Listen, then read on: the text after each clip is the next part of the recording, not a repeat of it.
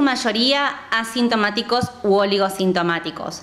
Por lo que sabemos a nivel eh, regional, hemos tenido entre 6 y 7 niños por ahora positivo de COVID. Por ahí puedo estar un poquito desactualizada en estas últimas semanas.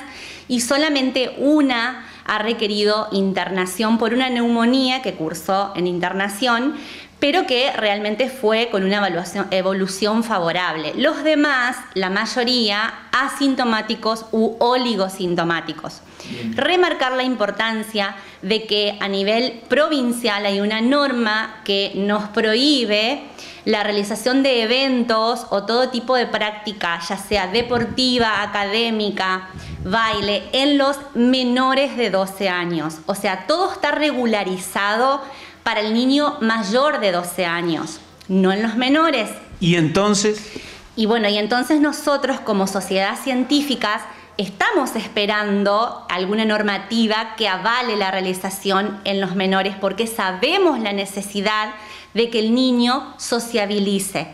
Pero nos preocupa esto de que hay muchas cosas que no se están haciendo como corresponde siguiendo normas nacionales y provinciales. Lo vuelvo a repetir, nuestra sociedad científica es muy exquisita en esto.